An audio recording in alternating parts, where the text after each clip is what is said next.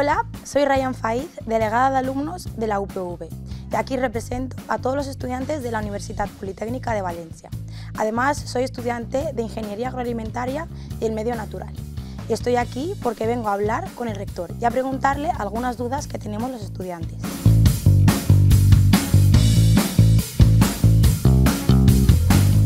Hoy el rector responde.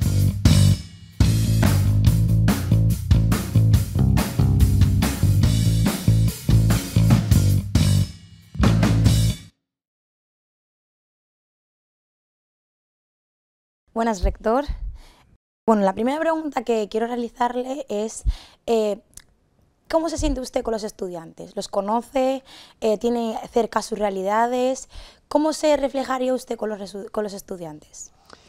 Bueno, lo primero, por favor, tuteame, eh, claro que el rector, eh, y agradecerte además tu disposición como representante de todo el alumnado de la Politécnica bueno, a participar en estos diálogos ¿no? con el rector. Bueno, ¿cómo me siento con los estudiantes? ¿Los entiendo? Bueno, vamos a ver, lo que tengo que decir es que, eh, vamos a ver, mm, el centro, la esencia, el pilar fundamental de cualquier universidad, su, estudiantado. Las estudiantes, los estudiantes, eh, ese es el origen de la universidad, de toda la vida. Luego han ido evolucionando, se han añadido otras misiones eh, a la universidad, pero todo en la universidad gira en torno a los estudiantes. Y yo creo que todos los días, cada día, cuando llegamos aquí a trabajar, los responsables, eh, bueno, pues los directores, el rector, los vicerrectores, los directores académicos, de que deberíamos estar pensando qué podemos hacer eh, para entender mejor eh, a los estudiantes, facilitar su aprendizaje y de alguna manera conseguir y colaborar a que tengan, digamos, una mejor carrera profesional en su futuro. Y bueno, pues es lo que intentamos. Eh, yo espero que, estemos teniendo éxito. Eh. Al final, yo siempre digo una cosa, que el éxito de una universidad es el éxito de sus egresados y egresadas. Eh, si a los estudiantes de este momento les va bien en el futuro, es porque algo estaremos haciendo bien. Y es, vamos, para mí es el objetivo fundamental. como rector me ha tocado asumir además una etapa interesante, lo estábamos hablando antes, ¿no? la de salida de la pandemia, y, mi propósito era incluso llegar más lejos que el simple hecho de recuperar esa situación que teníamos previa a la pandemia. Y yo creo, y me gustaría que me lo confirmaras, que lo hemos conseguido. Sí, ¿eh? yo creo que sí. ¿eh? Y además hemos eh, ido hacia adelante, ¿no? hemos sumado a lo que teníamos. Fíjate todas las actividades deportivas, que es una faceta importante. Actividades de socialización en el campus. a mí me parece eh, fíjate, estamos poniendo el foco en el tema del progreso de los estudiantes, eh, de alguna manera estar pendientes de ellos, tratar de disminuir al máximo el fracaso académico, reorientar a los estudiantes y para eso la vida en los campus es fundamental. ¿eh? porque la socialización esa de los estudiantes con, compañeros, con compañeras, también les ayuda de alguna manera a superar dificultades. O sea, y esto es algo que muchas veces no hemos tenido en la cabeza, pero es, pero es fundamental. Y yo creo que tenemos una universidad que, bueno, mi objetivo es que sea, eh, no sé, un referente para cualquiera que quiera seguir estudios universitarios, bueno, pues dentro de la amplia oferta que tenemos nosotros. Totalmente. Y hablando un poco también de la pandemia, yo creo que a ti te tocó un justo el momento en el que estábamos saliendo de ella, saliste elegido como rector. Y echando un poco vista atrás eh, de estos dos años que han pasado, dentro de tu programa electoral, obviamente, eh, ¿crees que has conseguido los objetivos que tenías propuestos? ¿Cuáles son los que te faltan? ¿Y qué es lo que a lo mejor crees que se te puede quedar pendiente, ¿no? Un poco en vista de estudiantes. Yo creo que es importante analizar el pasado y también un poco lo que viene después. A ver, eh, yo accedí con un programa y además con unas promesas que dije, estas además se van a ejecutar de manera rápida, inmediata. Eh, en este momento voy a alcanzar el, ecuador ¿no? de, de mi mandato y sí que puedo decir que en un porcentaje altísimo el programa ya está cumplido. ¿Eh? de las acciones concretas que aparecían definidas, 48 en total dentro del programa electoral, hay 66 que ya están completadas. Y las otras, eh, la mayoría están en progreso y hay alguna que tengo que decir y que no son las relacionadas con los estudiantes que bueno, pues en este momento no las hemos podido ejecutar todavía. ¿eh? Por ejemplo, una era eh, una idea muy ambiciosa respecto a la posibilidad de que los profesores y profesoras pudieran tener años sabáticos. Bueno, pues hay circunstancias que no permiten abordar eso en este momento, pero lo queremos abordar. En el caso de los estudiantes, eh, bueno, mm, sabes perfectamente que hemos hecho cosas, eh, bueno, hemos reformado toda la normativa de progreso y permanencia, que esto es algo que ya decía antes de ser rector, que había que hacer, y se ha hecho con, con éxito, creo yo.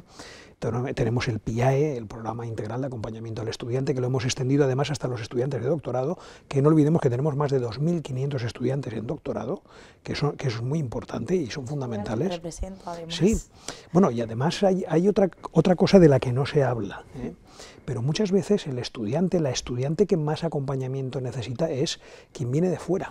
Esto se sabe, ¿eh? esto se ha estudiado en universidades muy internacionalizadas y eso ocurre más en máster y en doctorado, razón de más para intensificar esos programas de acompañamiento a los estudiantes en esos grados, pero hay que hacerlo en todos.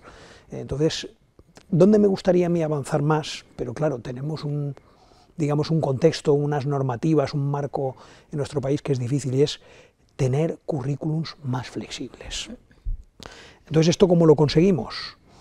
Pues yo siempre hablo de esa oferta tan amplia, ese menú tan amplio que, ofrecemos al estudiantado nuestro, de muchas actividades que son extracurriculares, pero que son muy importantes para formarse, pero deberíamos poder hacer más cosas, eh, currículos más flexibles que condujeran a títulos oficiales. Eso hoy por hoy la ley no nos lo permite, aunque eh, yo siempre digo eh, que, por ejemplo, los títulos dobles, son una manera de tratar de conseguir eso con los mimbres con los que nos dejan trabajar. Eh, y de hecho están teniendo mucho éxito y lo que hacen es que generan perfiles distintos a los de esos títulos que tenemos que encasillan demasiado, ¿no? porque hoy la formación, la formación tiene que ser una formación eh, muy de base, muy de, mm, skills transversales que se dice, o, competencias blandas, también se dice algunas veces, que además permiten así al futuro profesional adaptarse y reciclarse muy fácilmente, porque bueno, al final tener un título no te encasilla en lo que eres, Para nada. sino toda la, oferta que tenemos pues te forma como persona. Correcto, yo creo que lo tenemos todos clarísimo. Además, creo que un punto en el que coincidimos es que la universidad forma personas para el futuro. Entonces, eh, a partir de ahí es como tenemos que enfocar la universidad, ¿no? Todas las ofertas que tengamos, Correcto pues realizarlas. Pues a través de esto también me gustaría eh, preguntarte un poco también ¿no? con el tema de la transversalidad, que las personas puedan pasar tiempo en el campus, que tengan más allá de lo que es dentro del aula. Creo que en la universidad, un poco analizando todos los, eh, todos los centros, tenemos un problema que es eh, la falta de espacios. Es decir, hay aulas en las que pues, no cubre el número de personas o no hay el material disponible. Y eso también va de la mano de un poco el avance tecnológico que hemos tenido, ¿no? que al final cada uno ya no va a clase con la libreta, el bolígrafo, sino va con el ordenador, ya no hace falta las aulas informáticas. ¿Cómo eh, desde el rectorado se quiere abordar este tema de ampliar las aulas, conseguir más espacio? Porque recordemos que estamos en 32.000 estudiantes, que en dos años hemos aumentado 4.000 en el número. Entonces, es un poco como lo tienes. Previsto. Sí, sí, te cuento porque vamos a ver, es cierto que lo que ha pasado es que han cambiado las necesidades, ¿eh? porque aquí hemos llegado a tener 45.000 estudiantes. Eh, básicamente con los mismos aularios. Esto es así, incluso puede que en algún momento algunas aulas menos, eh, porque bueno, en estos años, desde que teníamos 45.000, se terminó la nueva Escuela de Bellas Artes, se terminó la nueva Escuela de Ingeniería Económica y del Medio Natural. Lo que pasa es que, claro, tenemos algunas aulas que están diseñadas para otros planteamientos docentes. Ahora tenemos una acción en marcha eh, que están coordinando la Vicerrectora de Desarrollo Sostenible de los campus y el Vicerrector de Planificación con los directores y directoras de centros, bueno, y decano y decana, eh, para tratar de hacer un aprovechamiento, digamos, eh, más eficiente de los aularios que tenemos, de las aulas que tenemos. Porque si bien es cierto que hay escuelas donde bueno, pues realmente es que no hay espacios, les faltan espacios, pues también hay otras escuelas que en este momento coyunturalmente, y esto durará años seguramente, pues tienen espacios disponibles. Entonces buscar formas eh, de aprovechar mejor esos espacios, eh, porque actuaciones de infraestructura para esto, bueno, son costosas y además no se resuelven ni en un año, ni en dos, ni en cuatro. ¿eh? Entonces ahora el camino es utilizar mejor lo que tenemos y en, y en eso estamos. Y para hacer eso, eh, otra de las cosas que estamos planteando es, eh, bueno, tenemos que homogeneizar mejor las franjas horarias. Y esto nos ayudaría a hacer más cosas. eh, a generar ofertas para los estudiantes que pudieran tener componentes de distintos centros. y bueno, y hay una idea que tengo yo siempre y que la planteo, tal, lo que pasa es que vivimos en un contexto de agencias de evaluación y de tal que no ayuda, que es que debería haber menos horas de clase presencial. Y además no estoy inventando nada nuevo. Eh, porque este, este sistema existe en otros países. Lo que pasa es que este sistema lo que hace es, los temarios tienen que centrarse más en lo fundamental y lo que hay que hacer es, evidentemente, tutorizar bien el trabajo que las alumnas y alumnos hacen por su cuenta fuera del aula. Que, ¿Cómo aprende más uno? Pues trabajando por su cuenta con el material y las guías que le da el profesorado. Eh, pero esa es un poco la idea un poco de la mano de lo que comentas, el hecho de reducir las horas de clase daría también lugar a que los estudiantes tuviesen más espacio ¿no? dentro de la universidad y que disfrutasen, disfrutasen más de pues todo lo que, lo que oferta, ¿no? más allá de, de, las aulas. Y yo creo que eso es muy importante porque una cosa que en la que coincidimos los dos es el tema de poder compatibilizar, ¿no? Porque al final un estudiante no es un estudiante de 18, de 19 hasta los 22, tenemos miles de perfiles y miles de personas que pues trabajan, tienen que compatibilizarlo con su familia, hay gente que tiene hijos, hay gente que se dedica a la representación, gente que dedica al voluntariado. Yo creo que el horario ese de 8 a 2, ¿no? Al final el, tan estigmatizado hace que tengas ese límite de decir, es que a lo mejor la universidad no es para mí, o el de 3 a 7. ¿Cómo ve eh, el equipo rectoral en este caso el poder adaptar esto de aquí a un futuro, lo que serían lo que quedan los dos años, o incluso propuestas que se pueden hacer pues para un poco, ¿no? Eh, un poco compatibilizar créditos, a lo mejor convalidar, que sirva pues una optativa con, con una actividad que supera a lo mejor los seis créditos que conocemos todos. Bueno, en este momento, empezando por el final, eh, ya podemos llegar a 18 créditos de reconocimiento de actividades, que incluye, por supuesto, pues optativas o cosas cursadas, incluso en el centro de formación permanente, que tiene una amplísima oferta y que una parte de nuestro estudiantado, pues a lo mejor quiere aprender determinadas aplicaciones informáticas o a lo mejor desarrollar, a lo mejor skills de estas de, no sé, expresión oral o cosas así, y hay unas ofertas eh, fabulosas. O mejorar sus capacidades lingüísticas ¿eh? en el idioma que sea. O sea, todo esto lo tenemos y hemos subido, yo quiero, recordarlo porque teníamos hasta un, reconocimiento hasta un máximo de 6 ECTS y ahora lo tenemos mínimo de 6 y máximo de 18. O sea que hemos triplicado ese máximo. Es un reconocimiento de que hay multitud de actividades extracurriculares que forman al estudiante y eso incluye todas estas actividades presenciales en los campus que son fundamentales. O sea, ha habido momentos, y además sobre, durante la pandemia, ¿no? que no, no, no, esto ya, la enseñanza pasa a ser online. No, no. El campus es insustituible eh, para muchísimas cosas. Y luego has mencionado más temas. El tema de la flexibilidad horaria y otra cosa. O sea, ahora mismo la formación universitaria eh, tiene que estar disponible para, digamos, eh, todos los estratos, llamémosle, de edad. Eh, o sea, cada vez la formación es más, digamos, las necesidades de formación cambian más y entonces uno puede necesitar volver a la universidad con 30, 35, 50, 60 años. Esto nos lo tenemos que plantear así y puede tener que venir a tomar de alguna manera pequeñas píldoras formativas, pueden ser a lo mejor certificados los minors estos que estamos llamando, o a lo mejor puede ser para cursar un determinado máster, o quizás porque se quiere replantear su vida profesional y volver a hacer un grado ¿eh? y, replantearse, ¿por qué no? Yo creo que eso tiene que ser así. Y flexibilidad, que la debemos tener y se la debemos a los ciudadanos porque somos un servicio público. Esto no se nos puede olvidar. Entonces tenemos que hacer compatible esa flexibilidad, obviamente, con el bienestar de las personas que trabajan en la universidad. Ya hablo del profesorado y hablo del personal de administración y servicios, pero no tiene ningún sentido que nos planteemos cerrar la universidad a las 6 o las 7 de la tarde. Ningún sentido. Eh, aquí tenemos que estar trabajando eh, con los turnos, respetando eh, y reconociendo el esfuerzo pero no tendría ningún sentido. Estaríamos dando un mal servicio público. Totalmente. Pues eh, hablando un poco de todo este tema, yo creo que en la Universidad Politécnica tenemos pues, un nivel de investigación pionero, eh, transferimos mucho a la sociedad, que al final es un poco el objetivo final que comentabas antes, pero es que es verdad que yo quiero centrarme en una cosa que es la docencia. ¿no? Al final, el estudiante que va al aula recibe pues, una clase en la que hay veces que un profesor a lo mejor no se centra tanto en dar la docencia y más en la parte de investigación. ¿Qué propuestas ¿no? Eh, podemos ofrecer o qué formaciones? Porque al final entendemos que una un, docente no tiene por qué saber cómo dar clase, ¿no? Un poco los estudiantes quieren saber cómo podemos a lo mejor nosotros recibir esa docencia de la manera que necesitamos, no un poco adaptarlo a nuestras necesidades.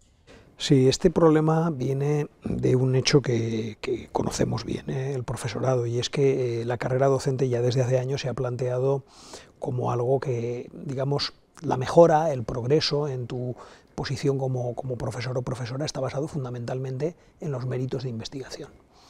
Y entonces, claro, pues hay mucho profesorado que eso le hace, bueno, yo me voy a centrar en lo que me es más, lo que me rinde más para yo mejorar, y esto es humano y no es condenable. Entonces, ¿qué hace la universidad frente a esto?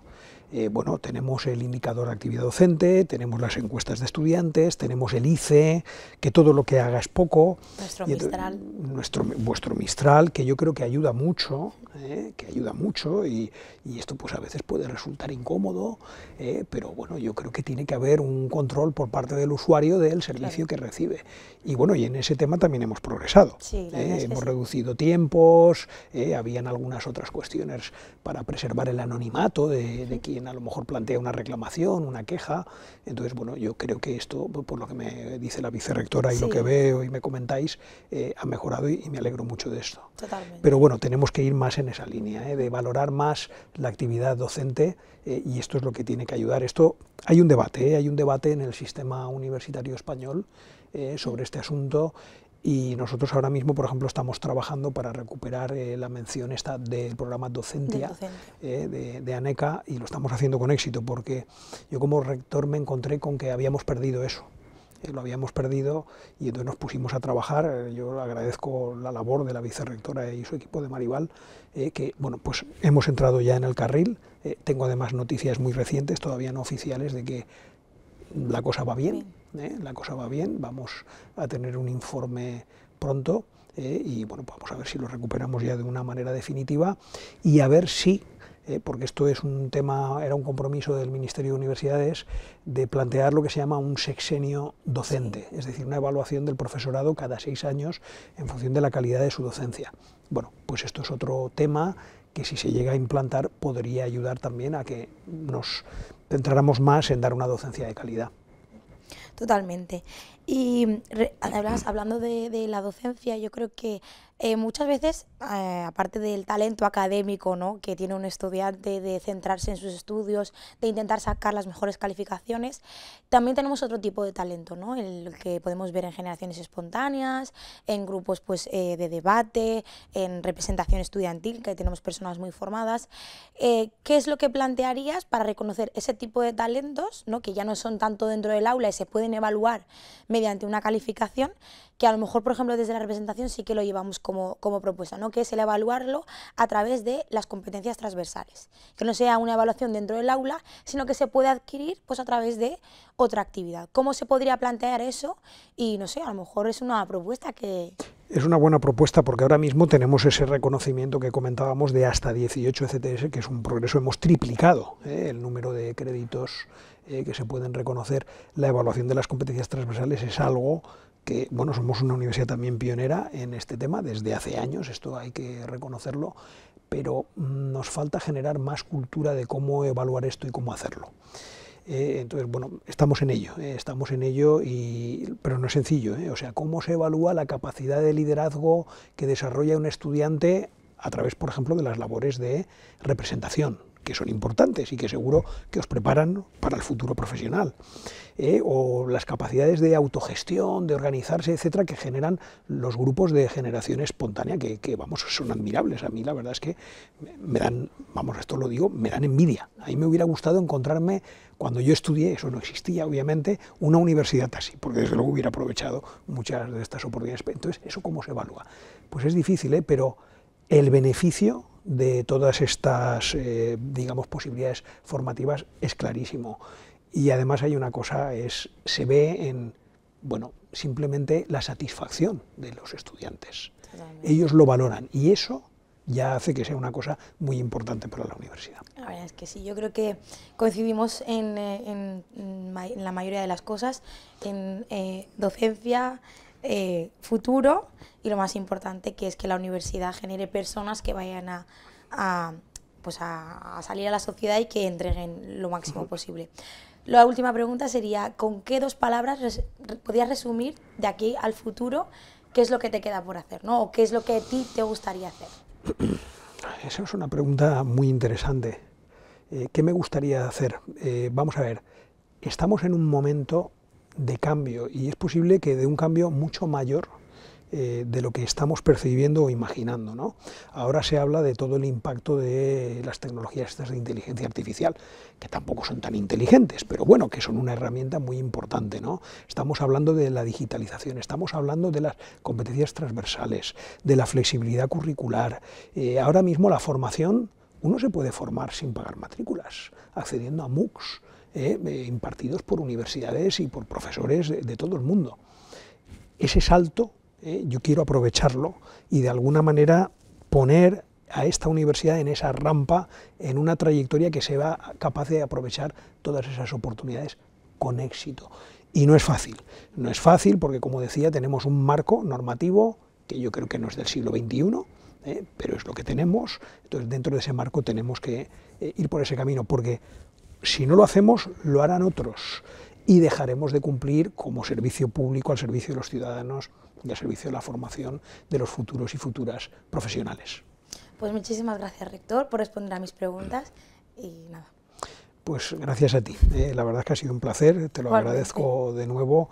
Y bueno, los estudiantes, las estudiantes sois, sois el corazón de la universidad, la razón de ser. Eh, y, ya como te decía, bueno, pues eh, hay pocos trabajos, pocas profesiones tan bonitas como, como trabajar con, con, estudiantes. Es una, yo siempre lo digo, es una, sin desmerecer a ninguna otra profesión, pero una de las profesiones más nobles que hay en este mundo es, es eso, enseñar, investigar. Yo creo que es algo maravilloso. Muchas gracias, rector.